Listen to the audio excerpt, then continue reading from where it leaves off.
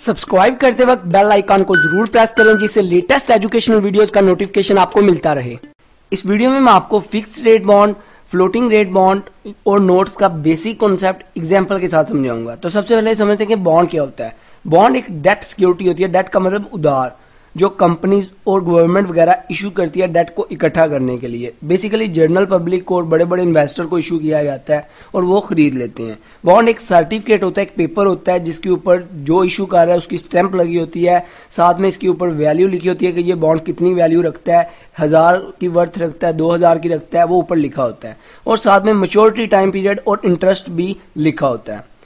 जो बॉन्ड को इशू कर रहा होता है, हम उसको बॉन्ड इशूअर बोलते हैं और जो बॉन्ड को अपने पास खरीद के रख लेता है, उसको हम बॉन्ड होल्डर बोलते हैं। अभी बात आ जाती है कि लोग इसको क्यों खरीदते हैं, लोगों को क्या बेनिफिट होता है? लोग इसको इसलिए खरीदते हैं, लोगों को ये बेनिफिट होता है कि लोगों को इसके ऊपर इंटरेस्ट मिलता है। प्रिंसिपल अमाउंट तो मिलती ही मिलती है और साथ में इंटरेस्ट भी मिलता है अजाफी में मुनाफा भी मिलता रहता है। लाइक अभी पाँच साल का बॉन्ड है तो पाँच साल बाद जो फॉर एग्ज़ाम्पल हज़ार रुपए का किसी ने बॉन्ड पाँच साल का खरीदा है तो पाँच साल बाद कंपनी या जो भी इशू कर रहा है, वो हज़ार रुपया भी उसे देगा और साथ में पाँच साल तक उसे इजाफी में इंटरेस्ट भी देता रहेगा। एनुअली या समी एनुअली जो भी एग्रीमेंट हुआ है जितनी भी परसेंटेज में इंटरेस्ट देना है, वो उसको देता रहेगा। तो इसलिए लोग इसको खुशी खुशी खरीद लेते हैं।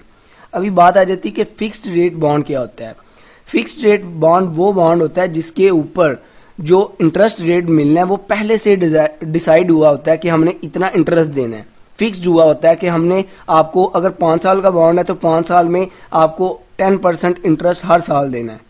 और इस तरह भी हो सकता है कि तीन साल का बॉन्ड है फॉर एग्ज़ाम्पल या दस साल का बॉन्ड ले लें। बेसिकली बॉन्ड जो होता है ना, वो दस साल से कम नहीं होता। उसका टाइम पीरियड दस साल तक होता है, या दस साल से ज़्यादा। तो दस साल का एक बॉन्ड है फिक्स्ड रेट बॉन्ड है। तो अभी उसके ऊपर इस तरह भी हो सकता है कि पहले से कंपनी डिसाइड कर ले कि पहले साल आपको हम ट्वेंटी परसेंट इंटरेस्ट देंगे, दूसरे साल आपको 10 परसेंट तीसरे साल आपको 5 परसेंट और चौथे साल आपको फिर पंद्रह परसेंट। इस तरह मतलब डिफरेंट डिफरेंट रेट जो है इंटरेस्ट रेट कंपनी पहले से डिसाइड करके बता देती है। तो स्टूडेंट समझते हैं कि ये फ्लोटिंग रेट है, क्योंकि इंटरेस्ट जो है वो चेंज हो रहा है। नहीं नहीं नहीं। इधर से मिस्टेक करते हैं स्टूडेंट ये फिक्स्ड रेट बॉन्ड है। क्यों?